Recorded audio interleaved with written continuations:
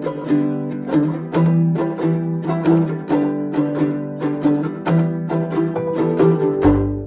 అండి అందరికీ నమస్కారం. రైతు సోదరులందరూ ఎలా ఉన్నారు? అందరూ బాగున్నారని ఆశిస్తున్నాను. నేను మీ రైతు మిత్ర జాని చాలా ప్రాంతాల్లో వరి నాట్లు పూర్తయ్యాయి. ప్రస్తుతం రైతులు వరిలో అధిక పిలకలు సాధించడానికి చాలా ప్రయత్నాలు చేస్తున్నారు.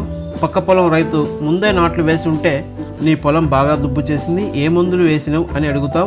కొంతమంది ఎరువుల షాప్ అతన్ని అడిగి ఎక్కువ దుబ్బు చేయడానికి ఎరువులు కొనుక్కొచ్చి వేస్తుంటారు.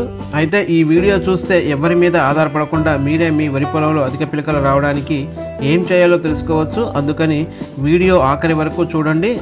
అధిక పిలకలు రాకపోవడానికి రైతులు ఎలాంటి మిస్టేక్ చేస్తున్నారు అనే విషయాలు కూడా అర్థమవుతాయి. ముఖ్యంగా చాలా ప్రాంతాల్లో దుబ్బు కులికలు వేయడం చాలా అవసరమని వేయకపోతే పొలంలో పిలకలే రావు అనే నమ్మకంతో ఉన్నారు. అందుకే రెండో దఫా ఎరువులతో పాటు దుబ్బు గోళీలు వేస్తున్నారు. అయినా కానీ రైతులు ఆశించినట్లు అధిక పిలకలు రావడం లేదు. అదేవిధంగా అసలు వారు వేసే దుబ్బు గోళీల కంపెనీ పేరు కూడా చాలామందికి తెలియదు. ఎరువుల షాప్ అతను ఇస్తున్నారు రైతులు తెచ్చి వేస్తున్నారు. రైతులు వరి పొలం దుబ్బు చేయడానికి భారం మొత్తం దుబ్బు గోళీల మీద వేసి మిగతా విషయాలు అంతగా పట్టించుకోవడం లేదు. అందుకే పొలంలో ఆశించిన పిలకలు రావడం లేదు. కనుక ప్రతి రైతు నారు పోసిన దగ్గర నుండి నాట్లు పూర్తయిన ముప్పై రోజుల వరకు పొలాన్ని జాగ్రత్తగా చూసుకుంటూ చేయవలసిన పనులు టైంకు చేస్తే ఖచ్చితంగా అధిక పిలకలు రాబట్టవచ్చు. అవేంటో ఇప్పుడు తెలుసుకుందాం. నాట్లు వేసే ప్రతి సీజన్లో రైతులు ఖచ్చితంగా గుర్తుంచుకొని పాటించాల్సిన విషయాలు. మొదటగా నారుమడి పెంచడం. చాలా ప్రాంతాల్లో ఇంకా నారు పోసి నాట్లు వేస్తున్నారు కనుక ఈ విషయం చెప్తున్నాను. దాదాపు ఇరవై ఐదు నుండి ముప్పై రోజుల వయసు ఉన్న నారుని మాత్రమే నాటుకోవాలి. అదేవిధంగా నాట్లు వేసే సమయానికి నారుమడి ఎటువంటి రోగాలు తెగుళ్ళు లేకుండా ఉండాలి. అందుకోసం నాట్లు వేయడానికి నాలుగు రోజుల ముందు నారుకి లీటర్ నీటికి రెండు గ్రాముల జింక్ సల్ఫేట్ కానీ అగ్రిమ్యాక్స్ కానీ ఫార్ములా ఫోర్ కానీ ఏదైనా ఒక దానిని ఎకరం నారుమడికి ఒక ట్యాంక్కి సూక్ష్మ పోషకాల లోపం రాకుండా మందు పిచికారీ చేసుకోవాలి. ఎందుకంటే సూక్ష్మ పోషకాల లోపం కారణంగా వరి మొక్క పెరగదు. అందులో ముఖ్యంగా జింకు లోపిస్తే వరి మొక్క బాగా దెబ్బతింటుంది. కనుక నాట్లు వేయబోయే రోజు వరి నారుమడి సూక్ష్మ లోపాలు లేకుండా ఉండాలి. ఇక మరొక ముఖ్యమైన విషయం పురుగులు ఆశించకుండా ఎటువంటి రోగం లేకుండా ఉండాలి. ఇందుకోసం నాట్లు వేయడానికి ముందు ఎకరం నారుమడికి ఒక కేజీ కార్బోఫిరాన్ గుళికలు చల్లుకోవాలి. దీని ద్వారా ఆకుముడత గొట్టం రోగం ముగిపురుగు వంటి రోగాలు రాకుండా నారు ఆరోగ్యంగా పెరిగి ప్రధాన పొలంలో నాటుకోవడానికి సిద్ధంగా ఉంటుంది. ఇప్పుడు మనం నాటుకోబోయే నారు సూక్ష్మ పోషకాల లోపం లేకుండా అలాగే ఎటువంటి పురుగులు లేకుండా ఆరోగ్యంగా పెంచుకున్నాం. కాబట్టి ఇటువంటి నారుని ప్రధాన పొలంలో నాటడం ద్వారా అధిక పిలకలు సాధించేందుకు సగం పని పూర్తి అయినట్లే ఇప్పుడు ఇక్కడే రైతులు తెలివిగా వ్యవహరించాలి. ఎరువుల యాజమాన్యం పొలాన్ని రెండు సార్లు దమ్ము చేసుకొని గుర్రు కొట్టుకొని నాట్లు వేయడానికి సిద్ధంగా ఉంచుకుంటాం. దమ్ములో సాధారణంగా ఇరవై ఇరవై కానీ లేదా డిఏపి కానీ ఇరవై ఎనిమిది ఇరవై ఎనిమిది లాంటి ఎరువులు వేస్తుంటారు. చాలా ప్రాంతాల్లో డిఏపి వేస్తూ యూరియా వేయడం లేదు. అలాగే ఇరవై ఇరవై వేసిన యూరియా వేయడం లేదు. ఖచ్చితంగా డిఏపి కానీ ఇరవై ఇరవై కానీ వేసేటప్పుడు ఎకరానికి ఇరవై కేజీల యూరియాని కూడా కలుపుకొని వేసుకోవాలి. దీనివల్ల మొక్క తొందరగా పచ్చబడి తొందరగా పిలక కట్టడానికి అనుకూలంగా ఉంటుంది. అదేవిధంగా ప్రతి మూడు పంటలకు ఒకసారి ఇరవై కేజీల జింక్ సల్ఫేట్ని ఆఖరి దమ్ములో వేసుకొని కలే దున్నుకోవాలి దీనివల్ల నాటు పూర్తయిన తర్వాత పంటపై జింకు లోపాలు కనపడవు. ఎందుకంటే జింకు లోపం కూడా పెద్ద సమస్య. జింకు లోపం తలెత్తినప్పుడు పిలకల శాతం బాగా తగ్గిపోయి పొలమంతా ఎర్రబడుతుంది. పెరుగుదల కూడా సరిగ్గా ఉండక పైరు గిట్సబారిపోతుంది ఇక మరో ముఖ్యమైన విషయం ముప్పై రోజుల వరకు నీటి యాజమాన్యం. ఎట్టి పరిస్థితుల్లోనూ నాటు వేసిన మొదటి వారం రోజుల్లో పొలంలో అధికంగా నీరు పెట్టవద్దు. దీనివల్ల కొత్త వేరు రావడానికి లేట్ అవుతుంది. కేవలం రెండు నుంచి మూడు సెంటీమీటర్ల ఎత్తు మాత్రమే నీరుండాలి. అలాగే మడులలో నీరు ఎక్కడ నిల్వ ఉండకూడదు. మడిలలో నీరు నిల్వ ఉండడం వల్ల మొక్క ఆరోగ్యం దెబ్బతింటుంది. పాత నీరు పోతూ కొత్త నీరు వస్తుండాలి. అప్పుడే మొక్క తొందరగా నాటుకొని కొత్త వేరు పోసుకొని ఎక్కువ దుబ్బు చేస్తుంది. వరి నాట్లు వేసిన మొదటి పదిహేను రోజుల వరకు నీరు పెట్టడంలో చాలా జాగ్రత్తగా ఉండాలి. ఎంత తక్కువ పెట్టుకుంటే అంత మంచిది. ఇక తర్వాత విషయం రెండో దఫా ఎరువుల యాజమాన్యం. రెండో దఫా ఎరువులు వేసేటప్పుడు రైతుకు చాలా సందేహాలు వస్తుంటాయి. కేవలం యూరియా వేయాలా?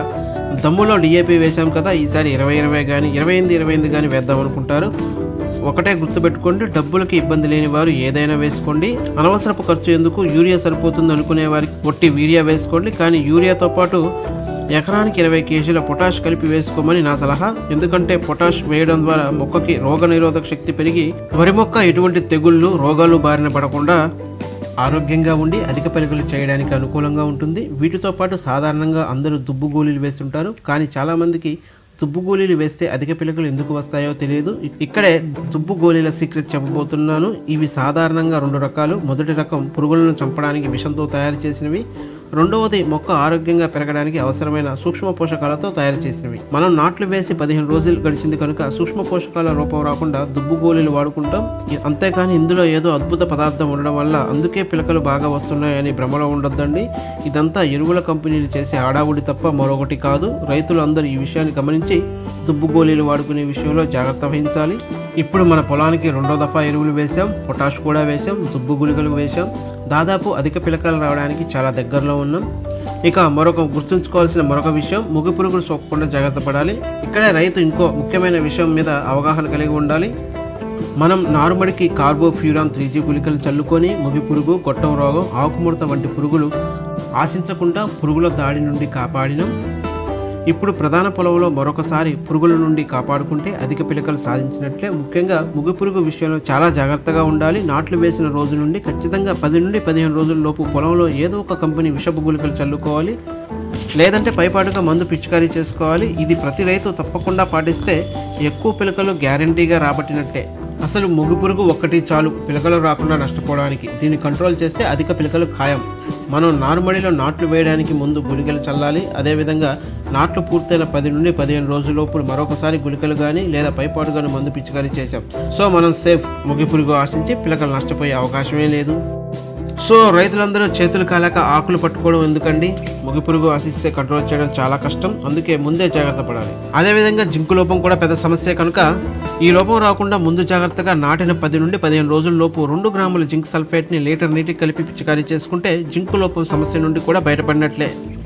జింకు లోపం వస్తే ఎలాంటి నష్టం జరుగుతుందో పిలకల శాతం ఎలా పడిపోతుందో అదేవిధంగా దిగుబడిలో ఎంత శాతం నష్టపోతామో ఆల్రెడీ వివరంగా ఒక వీడియో జింకు లోపం గురించి మన ఛానల్లో ఉంది. కావాలంటే ఆ వీడియో చూస్తే జింకు లోపం గురించి పర్ఫెక్ట్గా ఒక ఐడియా వస్తుంది.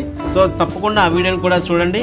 సో ఇప్పుడు మనం నారు పోసిన దగ్గర నుండి నాట్లు పూర్తయిన ముప్పై రోజుల వరకు మన పొలాన్ని సూక్ష్మ పోషకాల లోపం లేకుండా అదేవిధంగా ప్రధాన పోషకాల లోపం లేకుండా మరియు అధికంగా నీరు పెట్టకుండా కాపాడుకున్నాం. దుబ్బు గోళీలు కూడా వేసాం ము- మొగి పురుగు గొట్టం రోగం రాకుండా మందు కూడా పిచికారీ చేసాం కనుక సో మనం అధిక పిలకలు సాధించడానికి చేయవలసిన అన్ని పనులను సకాలంలో చేసాం కనుక మనకి అధిక పిలకలు సాధించడం అనేది చాలా సింపుల్ ఈజీ అయిపోతుందండి.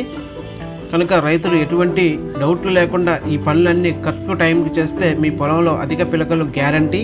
ఇప్పుడు చెప్పిన విషయాలన్నీ ప్రతి రైతు తూచా తప్పకుండా పాటించి అధిక దిగుబడులు సాధిస్తారని ఆశిస్తూ వీడియోని స్కిప్ చేయకుండా చూసినందుకు అందరికీ చాలా థ్యాంక్స్ అండి. వీడియో ఉపయోగపడితే లైక్ చేయండి. నేను మీ రైతు మిత్ర జాని సదా రైతు సేవలో సైనింగ్ ఆఫ్ జై కిసాన్.